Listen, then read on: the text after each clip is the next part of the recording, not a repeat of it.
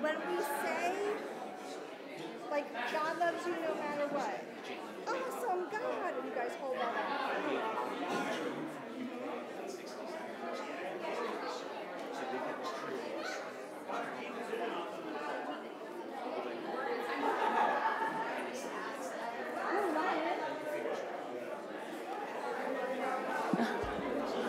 All right, good morning, everybody. Hello. A special good morning to those of you who are joining us online. Today is a very exciting day for us. It's VBS Sunday, and we had just the most monumental fun this past week. You'll see lots of us in red that were volunteers, lots of us in yellow who enjoyed and participated in uh, this week. And so, all of this service is going to give you just a little taste of all the fun that we had. So, we're really glad you're here, and let's go ahead and get things started.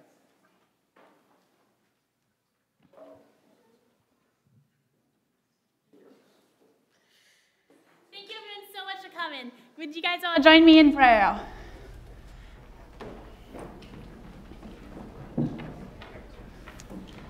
Blessed be the God whose greatness is monumental.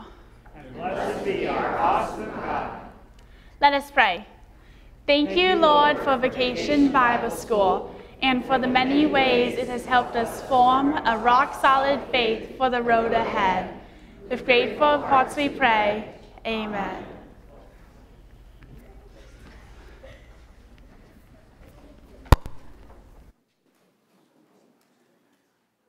Go ahead and be seated.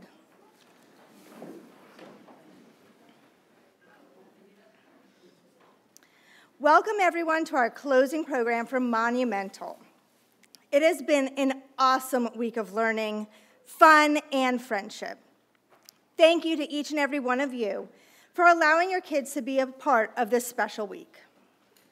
I'm Corinne Glasscock, and this year I was the director of VBS. I had many important people who helped me with this incredible program, but I especially want to thank Miriam and Kathleen. There were so many others who made this year so successful. If you look around, you can see all the red shirts, and there were so many more. We had nearly 60 volunteers. We'd like to walk you through a week or through our week here at camp.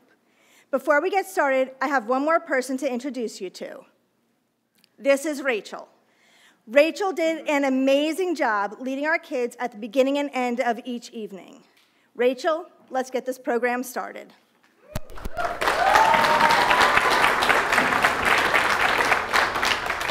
all of the kids have been learning a bunch of fun songs, but kids, I'm gonna need your help to make sure that your parents sing and dance along. Can you guys help me do that? Okay, so everyone stand up and we're gonna sing the theme song, Monumental God, Monumental Love. I mean, he is also monumental, but he also has monumental love.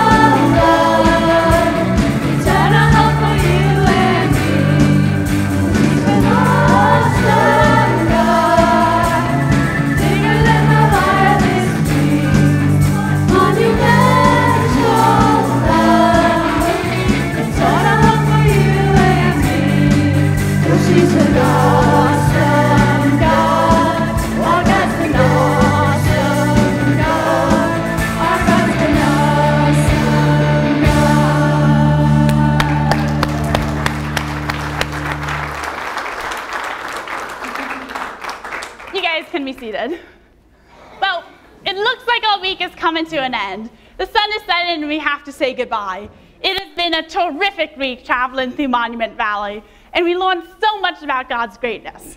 We also got to meet Kathleen Towers. Kathleen Towers has her own survivor show, but she didn't actually know how to survive. She was hoping that she could pretend and try to make it through, but it didn't work. It kind of failed miserably. Last time we saw her, though, she was telling her producer that she needed help. Good morning, everybody. Hi, Kathleen Towers! It's so great to be back here today. It feels like home. And all of you guys are here too. Yes, we're all here too. In fact, I got a call from your producer to help you pack a bag of survival supplies. Yeah, I learned so much this week. I'm actually worried I'm going to forget all of it. Well, I have just the thing to jog your memory, unless if you think there's anything that you should pack. Um, I think I could use some help. Yeah, I'll go get something.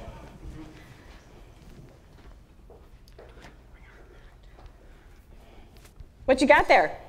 I got a lighter and a Um, candle. Um, okay. Do you want to light it?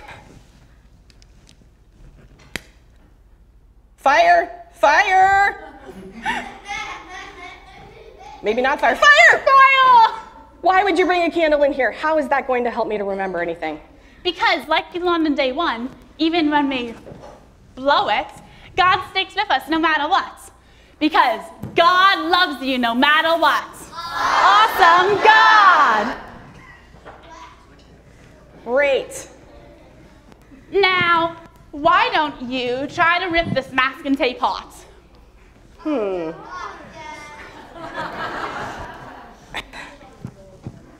I can't. That's because God's love sticks with you through everything. Because God loves you no matter what. Awesome God! Wow. Okay, now that I have, um, I'm so glad that love, God loves me even when I make mistakes. He is an awesome God. I think I might need a bag to pack Yeah, if you'll get your stuff, why don't you go get a bag or something? I'll Be right back. And God is such an awesome God. In fact, that reminds me of a song that you guys learned. Everyone stand up. And before we start singing the song, I will say that I saw this side was dancing a lot more than this side. so, all you kids on this side, can you please make sure that your parents and dance along? Thumbs up? Okay, awesome God.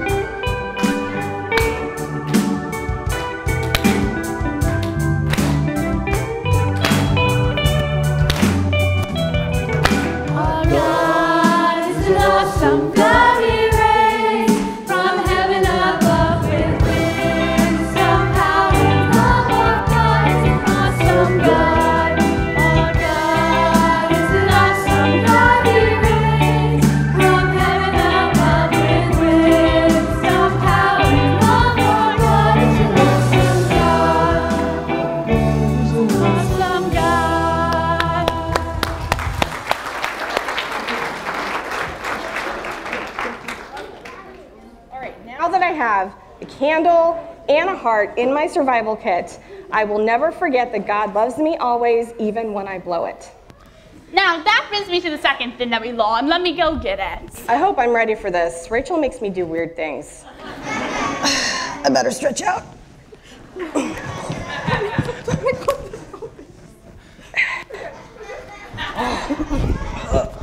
Whoa! Oh, help, help! Oh my goodness. Okay, I got it. You got it? Oh, oh no.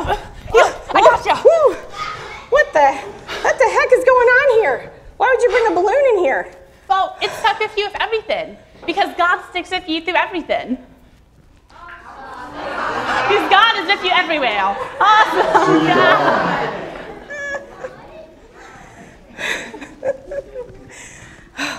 well,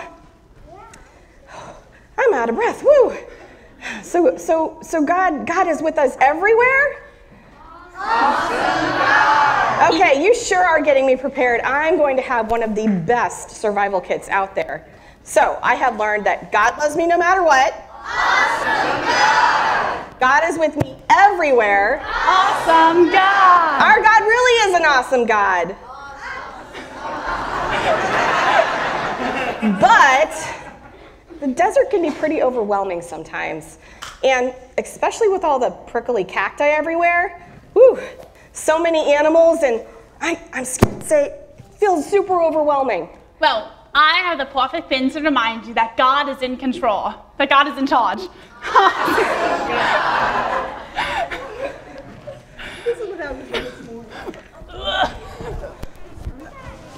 A bowling ball? I don't think the desert's gonna make a very good bowling alley, Rachel. Well, even though life can sometimes throw us scuttleballs, God is in charge. Awesome God. In fact, I have a, why don't you put that in the backpack? And let's sing a song that reminds us that God is always watching over us. Everyone stand up. And I will say, this side was dancing a lot more, but I saw some kids not dancing on this side.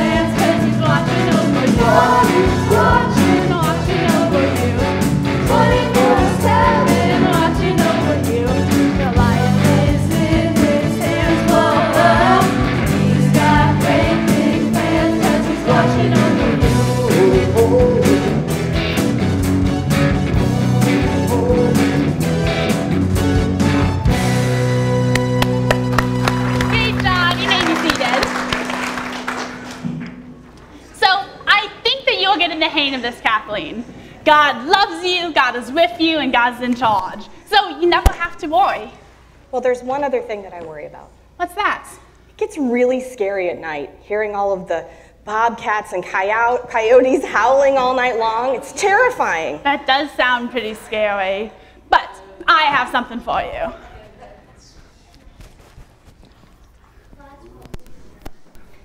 This is fantastic.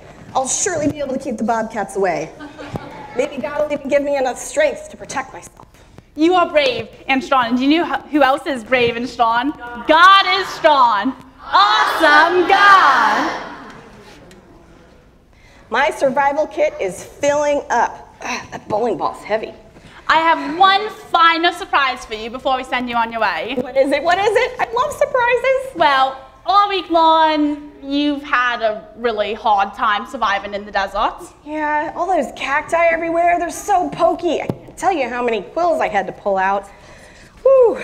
So, um, it's What, what you got there, Rachel? I have something amazing. I have something surprising. It's not another cactus, is it? It's a cactus! No, not again. Oh, don't worry. This is a pinata because God is surprising. What? Really? Just like the cactus. That's amazing. Thank you so much. I can't wait to see what kind of surprise surprises are inside of this cactus. Well, if my friends and I join me in the parish hall after service, we're going to be able to find out what's in it. That's fantastic. It's been an awesome week learning about God's greatness and God's amazing love. Bye, everybody!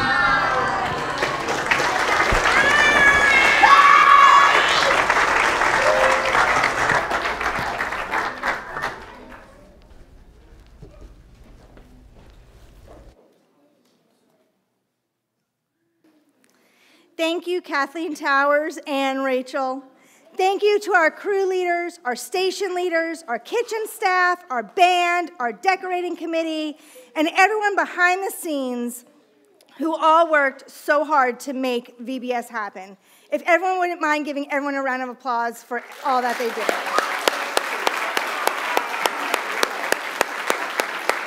Except for Tom.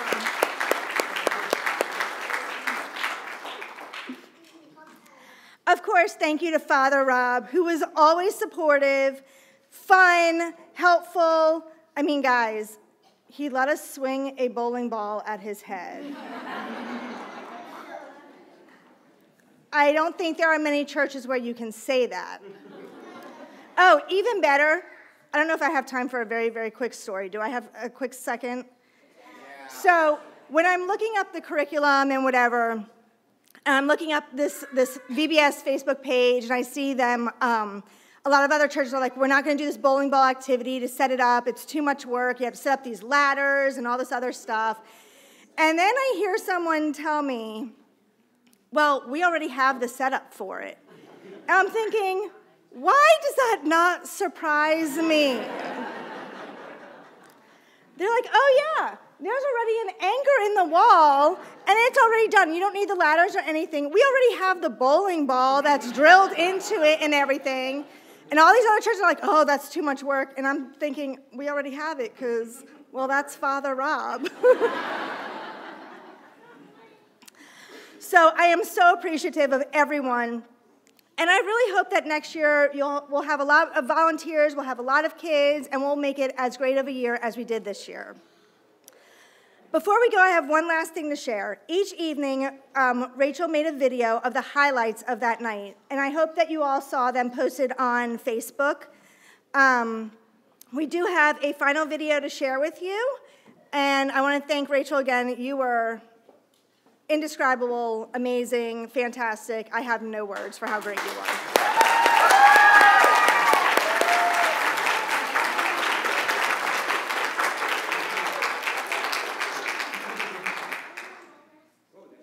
Desert.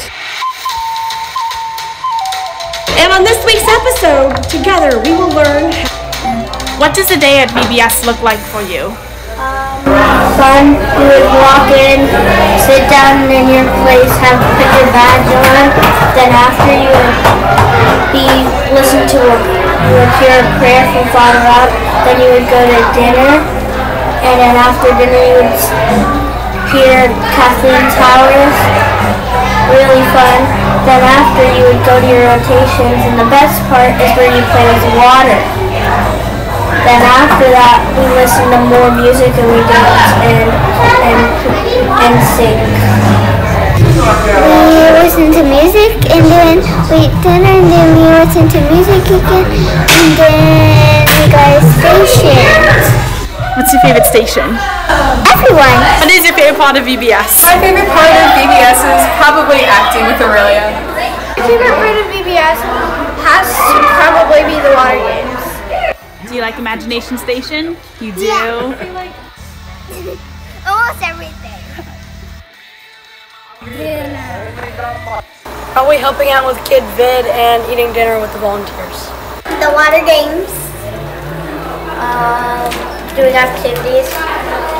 Uh, doing the water games as well. Imagination Station.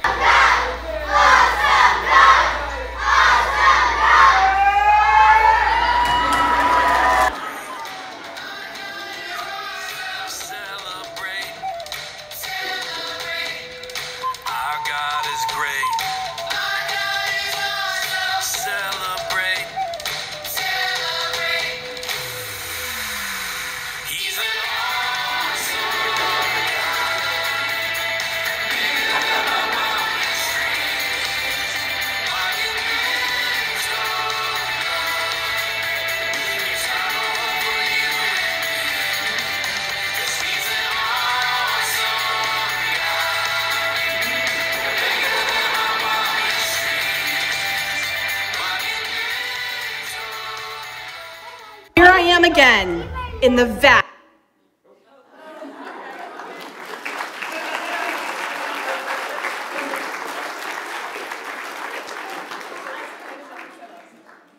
Well, it really was a great week, and uh, what? Oh yeah, yeah. So we still are looking for this shoe. Whoever owns this shoe, if you know, we hear that it is. We hear that is a young woman, and that her name is um, Sin, Sin Cinderella. So if any of you see Cinderella anywhere, please let us know, okay? Because we hear she's looking for her shoe. You look like you might Cinderella. Here. it really was a great week, uh, fantastic week. We said thanks to so many people. It takes so many people to make it happen. Uh, but the one person, that, but, but nothing happens really without a leader, without a person with a vision, without a person who organizes without it. And this year, that person was Corinne. And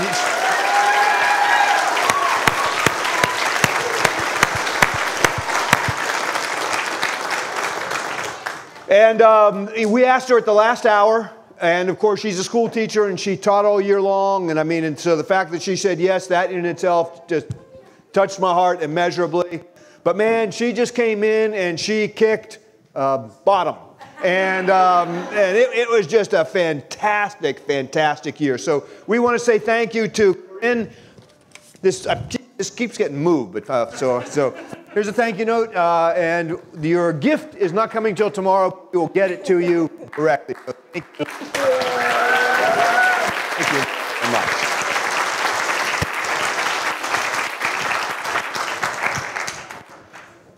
All right. Um,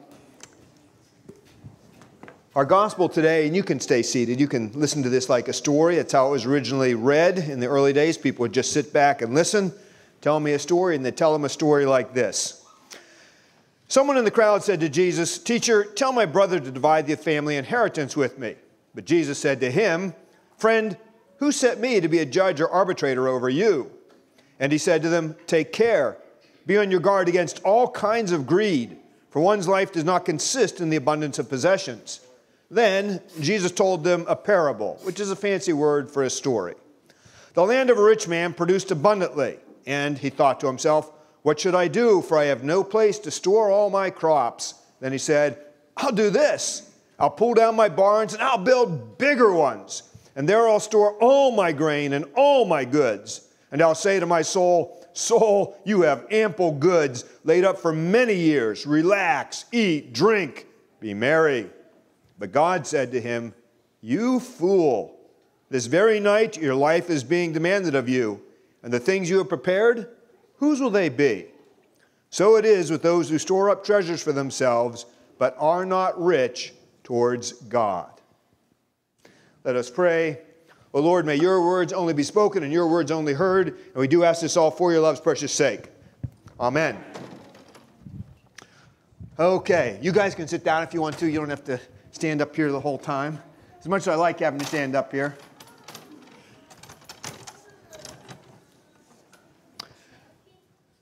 So, I'm going to start off by doing something. You tell me what I'm doing, okay?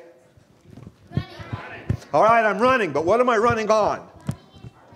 Running in place, running on a treadmill. All right, so we're sort of making believe. We're sort of doing our own imagination station. So I'm running on the treadmill because if you're on a treadmill, You have to keep running, right? Now, if you're on a treadmill and you stop running, what happens?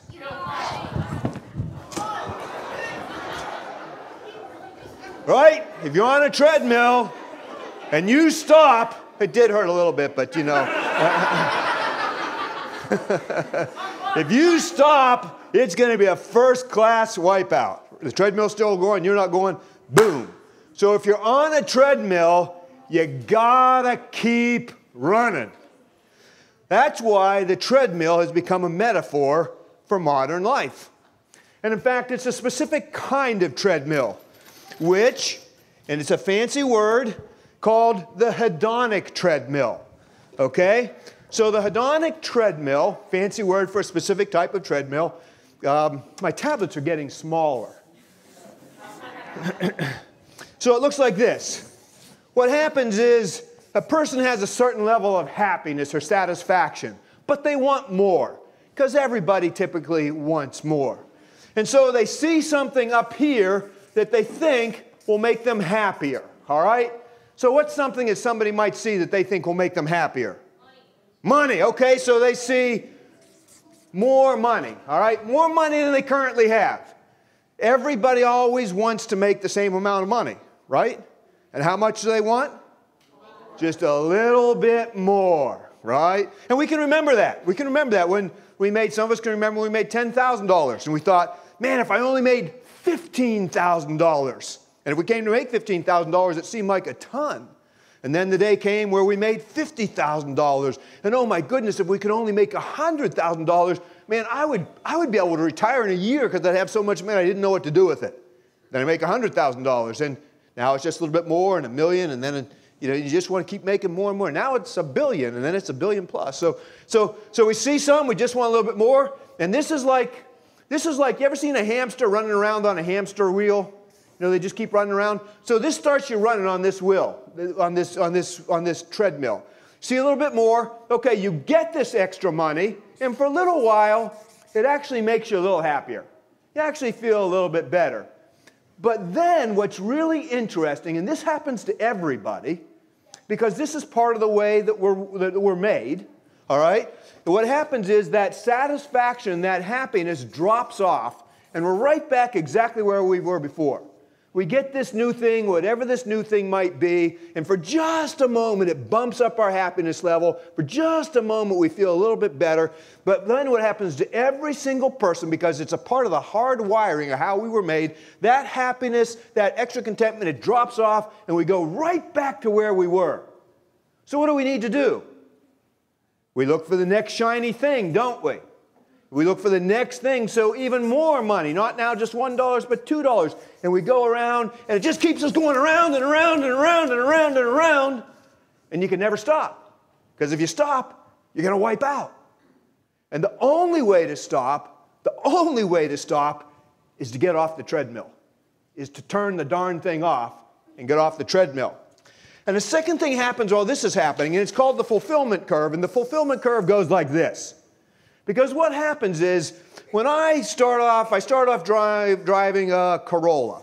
Okay, this is a Corolla. Ah, it's just gonna look like that. And then I go up to here and I get a, oh heck, I get a Corvette. And it's a really fancy car. It's got big exhaust pipes, great big tires, you know, huge tires. Actually has a whole bunch of exhaust pipes coming out the back. It's got, you know, sexy body work. It's a convertible, no top. And so for a little bit, you know, this makes me happy. But then the Corvette doesn't work, and now I got to get a Ferrari. And after a Ferrari, I got to get a jet. And after a jet, I got to get a yacht. And the thing is, pardon me?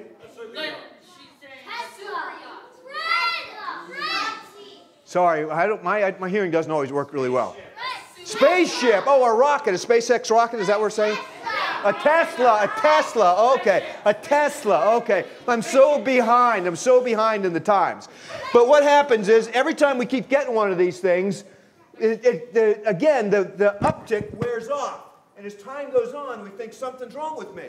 Because I look at everybody else and I think everybody else is happy. They're not, but that's another story. You know, that's another story. And so I keep getting more and more things, but I never get any happier. And so I start to feel like something's fundamentally wrong with me. And then the other thing that happens is despair starts to sit in. Because if I couldn't find happiness in this, or in my Tesla, or in my SpaceX rocket, or whatever it may be, then I'm never going to find happiness. Then I'm always going to be miserable. And that's why you can have people who have so much stuff who are some of the unhappiest people of all because they've started to despair. And over the years, I think one of the most common things that I've heard is that people come in and they say it. Sometimes they're deeply ashamed, sometimes they're a little bit embarrassed, but they say, you know, I have, I have the best life ever. I mean, I, I, I mean, you know, I have a great marriage. I'm really happily married. I have a beautiful home. We take fancy trips. I have a nice car. And then they look down and they get really sort of embarrassed, sometimes deeply ashamed. They say, but, but inside, I just know something's missing. Inside, I, I'm just not happy. And they, and they feel terrible about that. And that's exactly what we're talking about here. And that's exactly what Jesus was talking about in today's gospel, because Jesus was such a bright guy. And so in today's gospel, Jesus is talking about the hedonic treadmill. He's talking about this guy who, what does he want? He just wants a little bit more. He's got a lot, but what does he want? Just a little bit more. What does he want? He's got, he's got something, but he wants something bigger. And so this keeps him just, this keeps him running on the hedonic treadmill. And God says to him, you fool. Because what he was doing is in doing all this, he's neglecting the one things that really can make people happy, the one thing that really can bring a sense of well-being to life, and that is developing one's soul. That was the guy's big mistake, is he neglected his soul. He neglected his inner life. And you can you can understand an inner life in a lot of ways, but but but it's but it's lived very differently than that. Pursuit of things out there is to pay attention to what's going on in here. How do we develop soul? Well, we balance all the things we want to have, because so many people think that what life is about is having. And so if, there, if I'm feeling some lack, I need to have more. And so most people will live their life in that pursuit of having more. But the real secret is in managing what we want. And that's why people who can have infinite amounts of stuff can be so unhappy, where the person who looks like they have nothing at all can be happy as happy can be. Consistently, uh, to a person, of people I have known who've gone to third world countries like Haiti, we took a big group of people down to Haiti right after the earthquake. And there were all these people, and they had nothing whatsoever. But they were some of the happiest people we ever met. They sang and danced and laughed, and, and, and people were struck. They said, they're so much happier than the people we know in Northern Virginia. Why? Because they knew life wasn't about what you have, it's about managing what you want.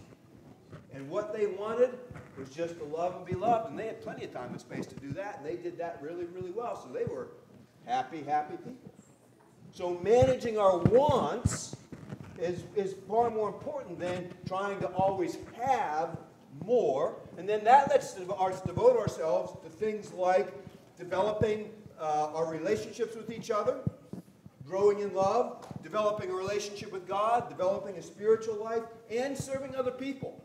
Because these are really the three things, uh, three, three of the primary things that really make life uh, so worthwhile. Is developing an inner life, a spiritual life, a genuine spiritual life.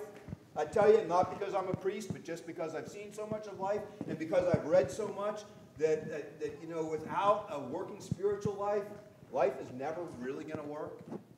And, uh, and serving others, I mean, again, we know that during the pandemic, it was awfully easy to think that life was all about me, and many people are continuing to live like life is all about them. But that's not a good life. I mean, that, that's, that's, not gonna, that's going to be the wipeout. Might not be today, might not be tomorrow, but that's going to be the life wipeout. Because the good life, the truly good life, the truly satisfying life, the truly joyful life is the life that's lived in service to others. And of course, there really is no joy, there really is no happiness, there really is no satisfaction in life without great relationships. End of story. Now, so I just want to conclude by saying we saw that in spades. We saw that over and over and over and over again this past week at Vacation Bible School. It was the most joy I have seen and the most joy I have experienced in the last three years. I mean, hands down. But it wasn't just the young people. It was also all the volunteers. You saw that 75 volunteers, more volunteers than people we have at VBS. And they were filled with so, we were filled with so much joy. So all the striving that goes on out there, all the accomplishing, all the amassing things and fortune and prestige and all that other stuff, man, I can just tell you, it pales in significance and impact compared to what happened here last week. And so to close, I want to show you just one little last snippet of that, one of my very favorite moments, and that was what happened afterwards. Afterwards, uh, Ben and Amanda and Tom and Heather did a great job of putting together uh, some fun for the teenagers who, who, uh, who, who served so well this past week. And then, these are some of the best crew leaders I've ever seen.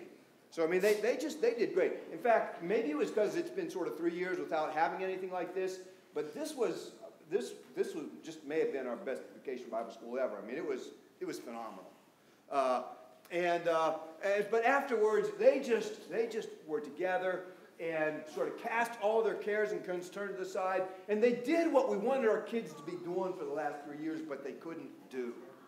And there was so much joy. There was so much soul. There was so much heart. Well, in this.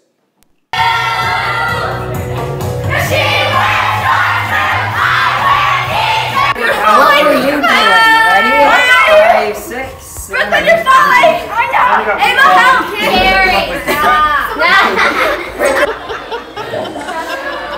Would you rather... USA! Yeah! Party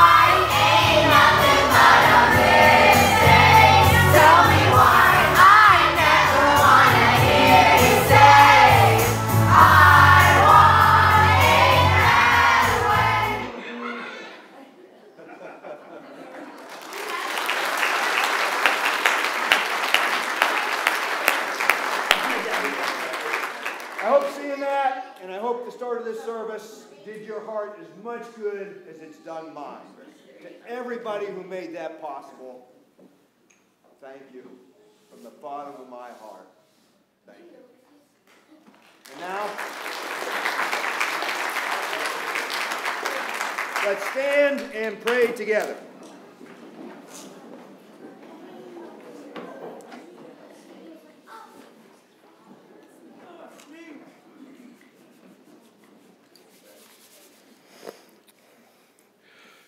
To the God who gave us such a beautiful week at Vacations Bible School, we pray.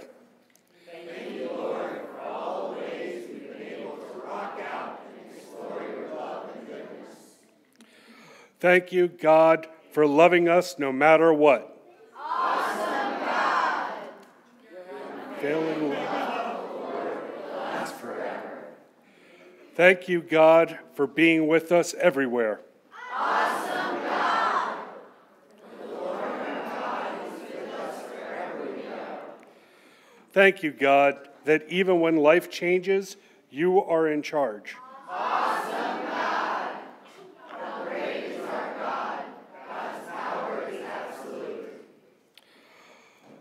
Thank God that you are stronger than anything. Awesome God. From our nothing can separate us from God's love. Thank you, God, that you are surprising. Awesome God.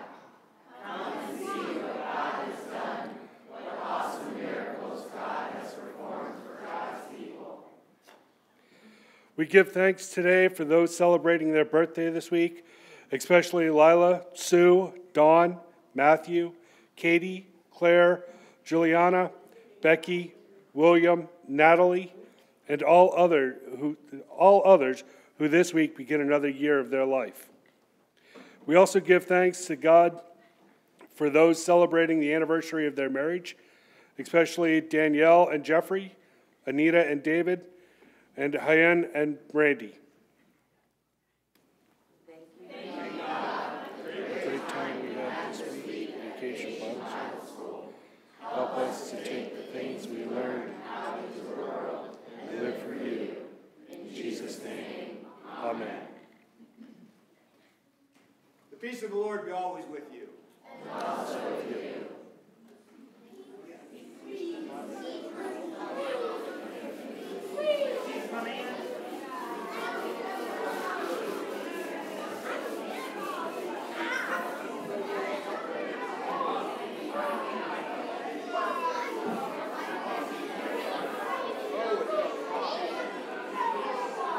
Thank you. I just tried to set it below my glasses.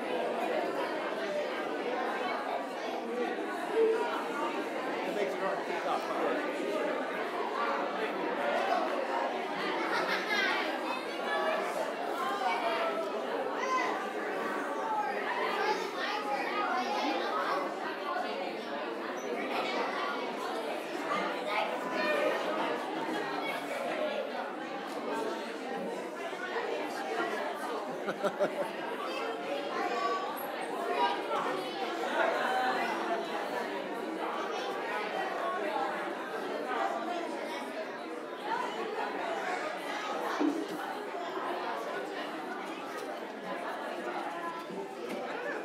Split it 50 50. What do you want to do? Okay. I'll, I'll review VBS. Do you want to read the in terms of upcoming activities and Beach Bash?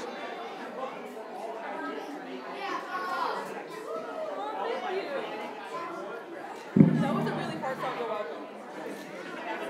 All right, so beach bash. Do you want to read those two paragraphs or no? You actually read. I can't see that. Are you blind? That's a problem. Do you want to just talk about Let me- let VBS me- then? What about VBS? Or you, just like general recap, real quick. Like, okay. What do you want to do?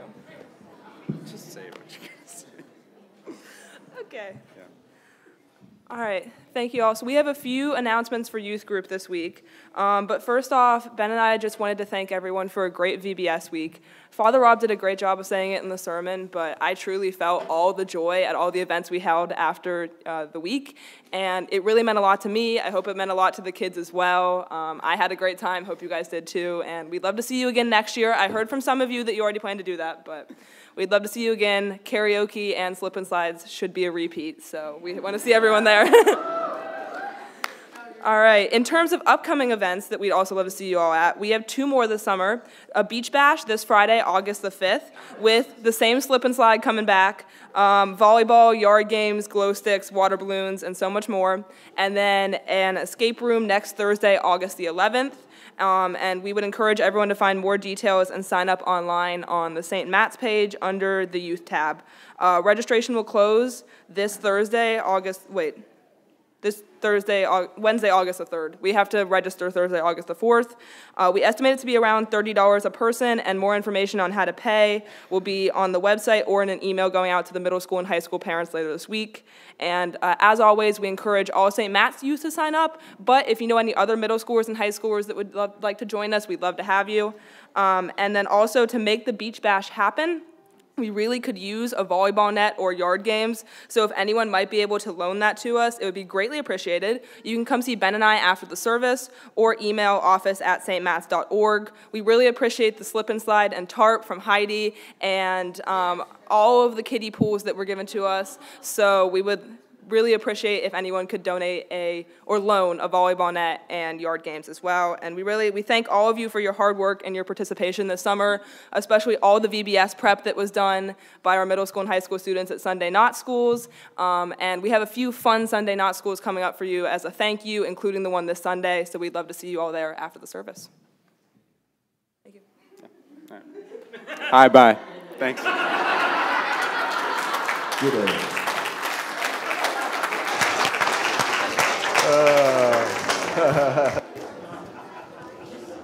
Uh, you know, when you're cool, you don't have to say anything. I mean, you just. I've always aspired to that, but that's why I have to talk so much because I've just never been cool. So, in the Episcopal Church, one of the things that is just super, super, super important to us is that everybody, no matter who you are, no matter where you've come from, what you've done, what you're doing, you know, what you're not doing, that everybody knows that God loves you. Yeah, yeah. And God loves us just absolutely no matter what. And so, one of the ways that we express that in the Episcopal Church is at the communion table. And so, we don't believe that this is the domain of any particular denomination. We don't believe that at all. We believe that this is the Lord's table. And as such, everybody's welcome here. So we invite all of you in the solidarity that we enjoy both as human beings but also in faith to come to the Lord's table and receive communion. If you want to just receive bread, we ask you to simply extend one hand and we'll just put a piece of bread in your hand. Uh, if you want to have bread dipped in wine, which is a little messy, but a lot of people like that, then we ask you to put one hand on top of another hand. If we see two hands, we'll dip the bread in wine, place that in your hand. And if you're not comfortable receiving bread or wine, but again, you just feel like we're a big family here and you want to be a part of that family, we want you to feel that and be a part of that. So come up and cross your arms across your chest. And we'll ask uh, the power that is behind the universe, that is often very different than the God we believe in, um, to, to bless you and to bless you in profound and powerful ways and to draw you in some deep way closer to God's self. So everybody's welcome here. Let's stand and continue. Oh, and if you'd like gluten free, because we do have gluten free also, uh, I think what we do is thumbs up. So, or is it what? This? Okay, that's gluten free, okay? So, thank you. I learned something today, a beautiful thing. And uh, we'll have that for you as well. the Lord be with you. Lift up your hearts.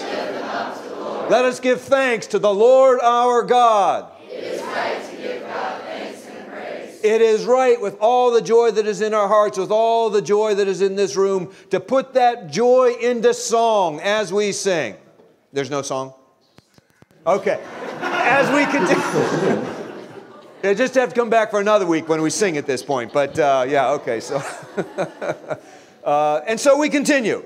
Uh, We do thank you, Lord, for the goodness with which you've made this, all of creation, and the joy that you build into the very foundations of the earth, the very foundations of our being, uh, in the relationships we have with one another. But Lord, we know that we sometimes live a life that falls short of that joy, and that we sometimes think more about ourselves and the things that we want and think we need to have than we do about other people. And so we know our lives aren't always filled with joy or a sense of well being. And so you send prophets and sages, wise women, wise men, to speak to us of the way back to that joy, the way back to you, the way back to life as you intended it. And when we didn't always listen to prophets or sages or wise women or wise men, you sent your son Jesus to show us in no uncertain time, terms what the good life really looks like. And not just to speak about it, but to show us in flesh and blood how it's actually lived. Remember how Jesus did that by loving all kinds of people that people didn't think should be loved, by welcoming people into religious communities that people didn't think belonged in religious communities, by responding in ways very differently than people thought people would respond. Remember how Jesus did that the night in which he was betrayed. When he was betrayed, we would have expected a response of anger, maybe a response of hatred, maybe a response of violence, but instead, Jesus responds in love, taking bread, breaking bread, giving it to his disciples, and saying, Take, eat. This is my body which is given for you. Do this for the remembrance of me. And after supper, he also took the cup of wine. And when he had given thanks, he gave it to his disciples and said, Drink this, all of you, for this is the blood of my uh, of the new covenant, which is shed for you and for many for the forgiveness of sins. Whenever you drink it, do this for the remembrance of me.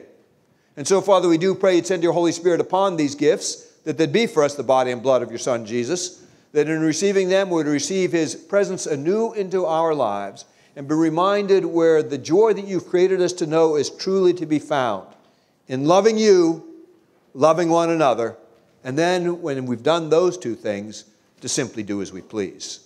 And we do ask this all for your love's precious sake. Amen. And now, as our Savior Christ has taught us, we are bold to say, Our Father, who art in heaven, hallowed be thy name. Thy kingdom come, thy will be done, on earth as it is in heaven. Give us this day our daily bread, and forgive us our trespasses, as we forgive those who trespass against us. And lead us not into temptation, but deliver us from evil. For thine is the kingdom, and the power, and the glory, forever and ever. Amen. The gifts of God for the people of God.